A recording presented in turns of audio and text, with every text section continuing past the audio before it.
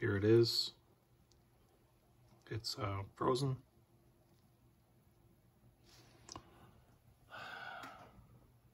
Not responding. This is what's been happening. Since, start, since I started trying to play this, I haven't played this for, I don't know, a couple few weeks, month, I don't know. Um, CPU looks fine. Everything's disabled.